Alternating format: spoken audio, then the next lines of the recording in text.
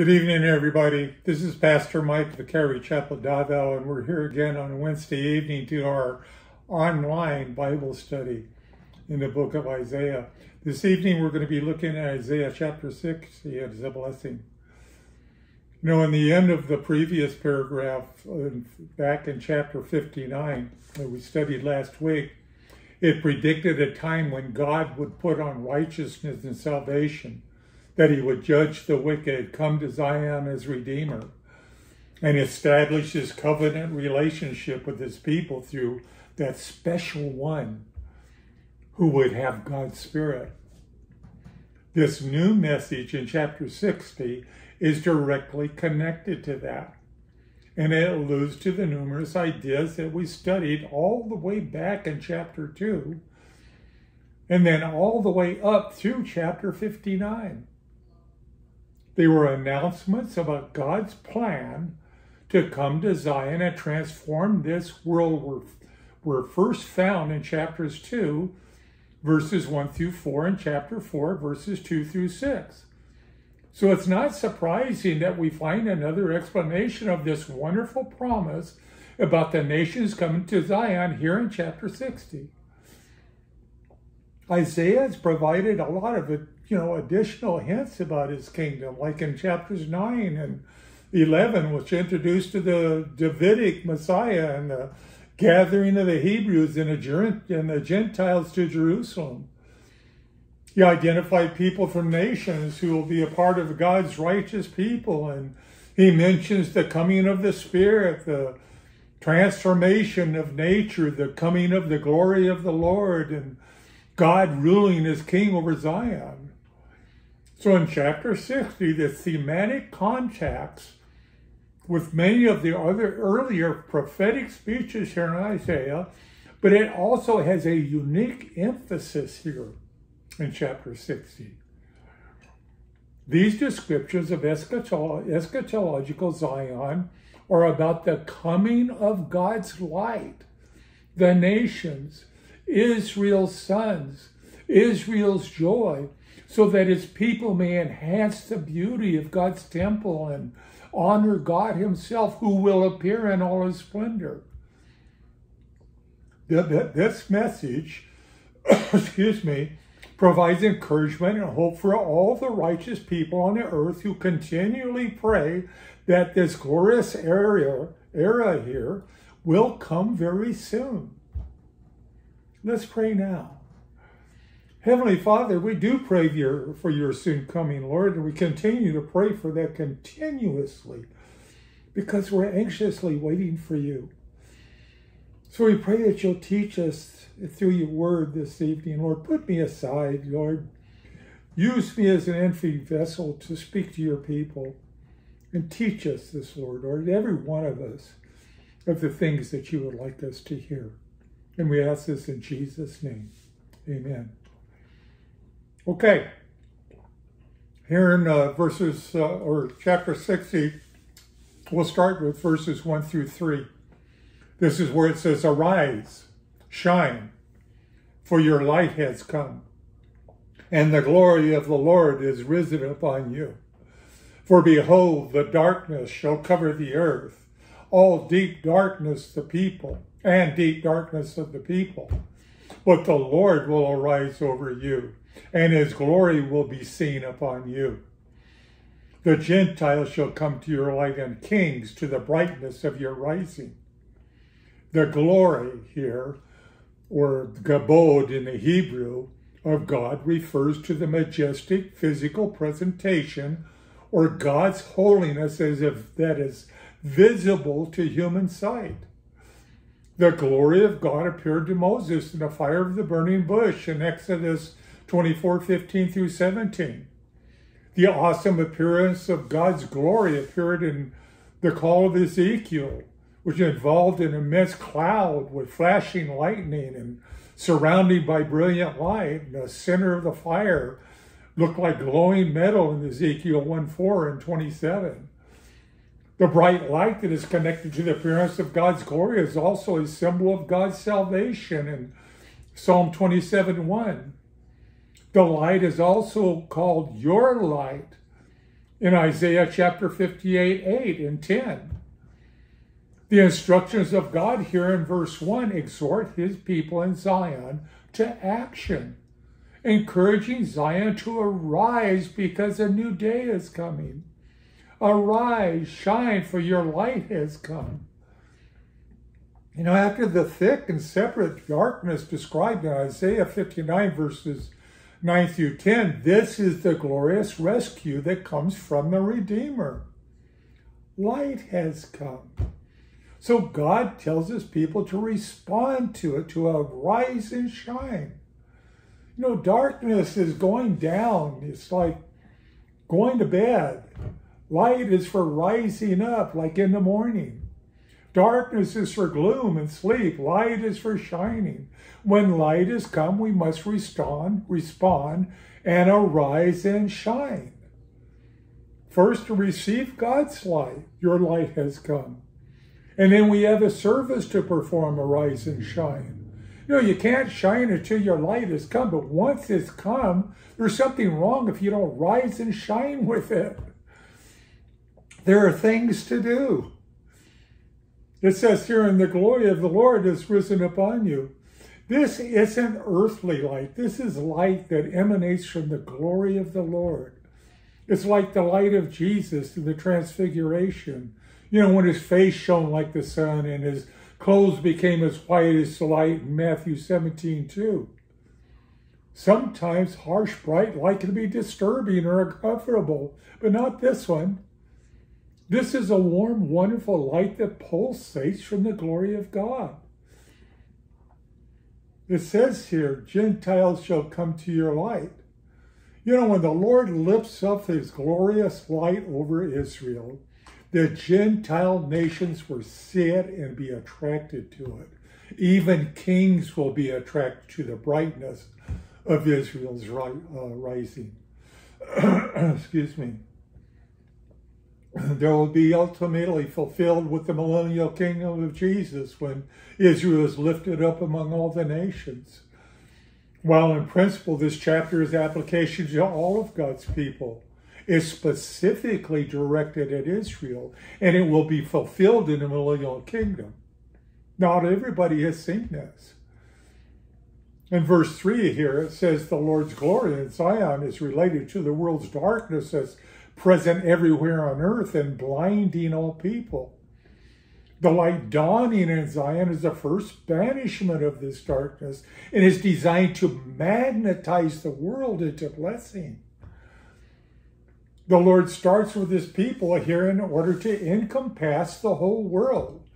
But the fact that the Lord speaks of the Gentiles here and that they will also receive this light. In Psalm 67, verses 1 through 2, it says, God be merciful to us and bless us and, call, and cause his face to shine upon us, that your way may be known to the earth, your salvation among all nations. This is the light within us that is spreading the word of God and drawing others to Christ when we go out evangelizing. This was Paul's thought in Romans 15, 16, where it says that I might be a minister of Jesus Christ to the Gentiles, ministering the gospel of God and the offering to the Gentiles might be acceptable, sanctified by the Holy Spirit.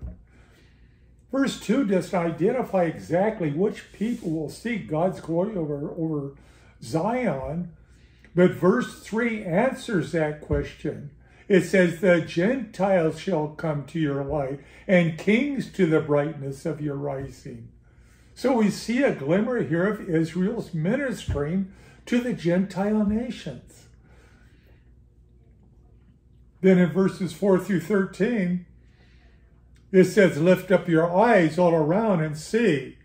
They all gather together, they come to you. Your sons shall come from afar, and your daughters shall be nursed at your side. Then you shall see and become radiant, and your heart shall swell with joy, because the abundance of the sea shall be turned to you. The wealth of the Gentiles shall come to you. The multitude of camels shall cover your land, the dromedaries of Midian and Ephah, all those from Sheba shall come. They shall bring gold and incense, and they shall proclaim the praises of the Lord. All the flocks of Kedar shall be gathered together to you. The rams of, of shall minister to you. They shall ascend with acceptance on my altar, and I will glorify the house of my glory. Who are these who fly like a cloud and like doves to their roost? Surely the coastland shall wait for me, and the ships of Tarshish will come first. To bring your sons from afar, their silver and their gold with them, to the name of the Lord your God and to the Holy One of Israel, because he has glorified you. The sons of foreigners shall build up your walls, and their kings shall minister to you. For in my wrath I struck you, but in my favor I have had mercy on you. Therefore your gates shall be open continually. They shall not be shut day or night, that men may bring you to the wealth of the Gentiles and their kings in possession. for the nation and kingdom will not serve you shall perish, and those nations shall be utterly ruined. Verse 13 The glory of Lebanon shall come to you, the cypress, the pine, and the box tree together, to beautify the place of my sanctuary, and I will make the place of my feet glorious. Verse 4 The sun shall come from afar. You know, through this passage, one of the great themes is the regathering. We can see that here in the millennial kingdom of Jesus. You know, every Jewish person remaining, remaining on earth will be gathered into the land of Israel from every nation on earth. We know that this has already started. It started back in 1948. The present day regathering of Israel is a precious preview of this ultimate, complete gathering here. Verses 5 through 13 the wealth of the Gentiles shall come to you, and is showing all of that. Not only will they receive the treasure of their people, but also the literal treasure of the Gentiles shall come to Israel in the millennial kingdom. So the nations will willingly give them wealth, much as the Egyptians willingly gave the Israelites riches when they left, uh, left Egypt in Exodus 12, 35, and 36. So much will be given that we'll need they'll need to keep the gates of the city open continuously, as it says here. They shall bring gold, their silver and their gold with them why do the nations bestow these riches on little Israel?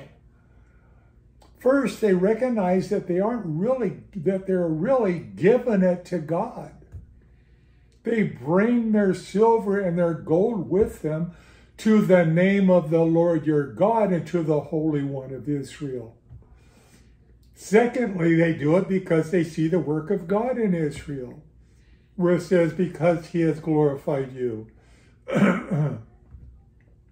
so they willingly gave it to, to, to and to serve Israel.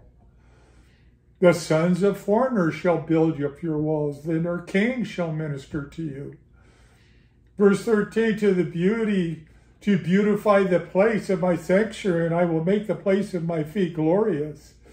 You know, another reason that riches of the nations pour into Jerusalem, the millennial kingdom of Jesus, will be to build and support the millennial temple.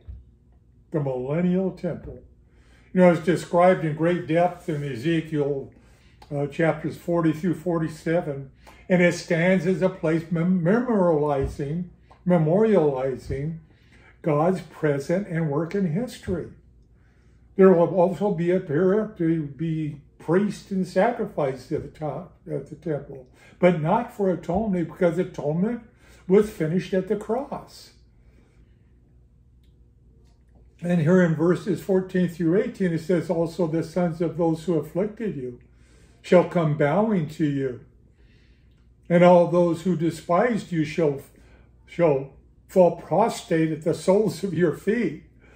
And they shall call you the city of the Lord, the Zion of the Holy One of Israel. Whereas you have been forsaken and forsaken and hated, that no one went through you, I will make you an eternal excellence, a joy to many nations. You shall drink the milk of the Gentiles and the milk of the breasts of kings. You shall know that I, the Lord, am your Savior, and you and your Redeemer, the mighty one of Jacob. Instead of bronze, I will bring gold. Instead of iron, I will bring silver. Instead of wood, bronze. Instead of stones, iron. I will also make your officers peace and your magistrates righteousness. Violence shall no longer be heard in your land, neither wasting nor destruction within your borders. But you shall call your walls salvation and your gates praise. in verse 14, the sons of those who afflicted you shall come bowing to you. You know, those who had previously persecuted Israel, and specifically Jerusalem here, will have a different heart and mind in the millennial kingdom. They will come bowing to Jerusalem. They will recognize it as the city of the Lord. Instead of bronze, I will bring gold. You know, God will take what was old and perhaps functional but not full of glory and replace it with far better things. And even more of a miracle than that, turning bronze to gold, is the turning the magistrates into righteousness. Who would have thought about that? In verse 18, it says, Violence shall no longer be heard in your land, neither wasting nor destruction within your borders. But you shall call your walls salvation, your gates praise. What a glorious transformation here. From the violence and unrestrained bloodshed of Isaiah 59, verses 6 to 8, to the walls called salvation here, and the gates called praise. The ultimate fulfillment of these things awaits because if the millennial kingdom isn't here yet. But the king of that kingdom is here and wants to do some of that work on a different level, on different levels in our lives. For example, a home can be a beautiful transformation right now. It can be said of a Christian home, violence shall no longer be heard in your home, neither wasting nor destruction in your walls but you shall call your walls salvation and your doors praise. In reality, the nation won't need rulers, the judges, the government officials to keep people in line if everyone follows, everyone follow the principles of the righteousness and peace. Selfishness and pride and anger and deceit and covetousness and every other sort of evil no longer rule in the hearts of mankind. God will transform people's hearts so that they have new desires, new godly values, and new motivations. We do. It will direct their thoughts and actions. Back in verse 16, it says, You shall know. This explains why God does this. It's not because Israel is so great and has earned this as an achievement through hard work. He does it so you shall know that I, the Lord, am your Savior and Redeemer, the mighty one of Jacob. He does a work so great that all know it's his doing. then in verses here 19 through 22, it says, the sun, the sun shall no longer be your light by day, nor your brightness shall the moon give light to you, but the Lord will be to you an everlasting light, and your God your glory. Your sun shall no longer go down, nor shall your moon withdraw itself. For the Lord will be your everlasting light, and the days of your mourning shall be ended. Also your people shall be righteousness. They shall inherit the land forever, the branch of my planting, the work of my hands, that I may be glorified. A little one shall come, become a thousand, and a small one a strong nation. I, the Lord, will hasten it in its time. In its time. You know, the sun shall no longer be your light by day, but the Lord will be to you an everlasting light. This is like the light of the New Jerusalem described, described in Revelation 21 2 23, where the Lord Himself is the light. But just as important as having the Lord as your everlasting light is having your God your glory, and to the glory no one uh, or anything else. No, they shall inherit the land forever. You know, when we remember the context of Isaiah's prophecy here, it makes it even more precious. Isaiah was mostly written under the shadow of the coming defeat and exile. To those dispossessed people of God, Isaiah pointed them to them a day when they shall inherit the land forever. You know, this promise wouldn't be fulfilled because the people of God were so good, but it will be fulfilled so it will be seen as the work of my hands that I may be glorified. That's the Lord. I, the Lord, will hasten it in its time. You know, God didn't say it would happen soon, but when we consider eternity, we might consider it soon. But when God would hasten it, hurry it along, expedite it, it's time. In its time. When its time has come, the Lord will hasten it, but not before its time. So the promise seems too good to be true, and we you know, we're conditioned to think that if it seems too good to be true, it is. But God is too good for it not to be true. You know, the promise to Abraham was that God would make uh, of him a great nation and, and that his children would become as numerous as the stars in the heavens or the dust of the earth. That was in Genesis 12, 2 and 13, 15 through 16 and uh, 15.5 and 16.10 and 22.17.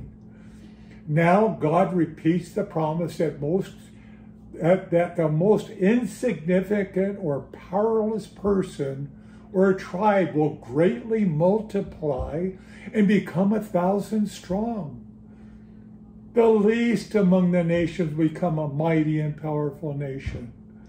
You know, the promise of divine blessing and multiplication and strengthening can, only, strengthening can only be explained as the marvelous work of God.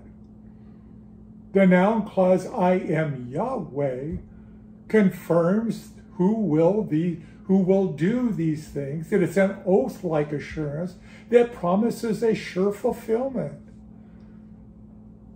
No, we shouldn't have doubt or wonder about these wonderful promises for when the right time comes and everything is ready, God will quickly act and accomplish what He has promised us. This assurance is to every believer is an encouragement to faithfully persevere each day. But it also provides hope that soon God will come for his righteous people and end the misery that's associated with the sinful world. You know, Isaiah's fascinating portrait of the coming kingdom displays the magnificence of God. It's God who is lifted up when the kingdom comes. However, he has chosen to lift up with him the people of Israel, whom he has chosen. But Gentiles aren't excluded from this. Their presence in the chapter shows they will enjoy God's presence as well. A similar promise is made to glorify the future church of the saints in 2 Thessalonians 1 9 through 12. This is where it says, These shall be punished with everlasting destruction from the presence of the Lord, from the glory of his power, when he comes in that day to be glorified in his saints and to be admired among all those who believe, because our testimony among, among you was believed. Therefore, we also pray always for you that our God would count you worthy of this calling and fulfill all the good pleasure of his goodness in the work of faith with power, that in the name of our Lord Jesus Christ may be glorified in you, and you in him, according to the grace of our God and the Lord Jesus Christ. You know, the redeemed of all ages will stand in the joyful, powerful presence of God in his real and material kingdom on earth, a kingdom of righteousness that begins at the second advent, second advent of Christ when he comes the next time. Are you ready? Do you know him? Let's pray. Heavenly Father, we pray, Lord, that uh, if there's anyone here that hasn't heard this message about Jesus, Lord, that they would um, turn and accept Him as their Lord and Savior, Lord, knowing that the that they won't make it, Lord, unless they do. They need a Redeemer. They need a Savior, just like we have. We thank you so much for that, Lord, that we are the redeemed. We are the saved through His blood. And we pray, Lord, that anyone here that has not done that will turn and accept Jesus as their Lord and Savior, and that they will do it soon. We thank you, Lord, in Jesus' name. Amen. Thank you, beloved. I'll see you next week. We'll, we'll start off in uh, Isaiah chapter 61. God bless.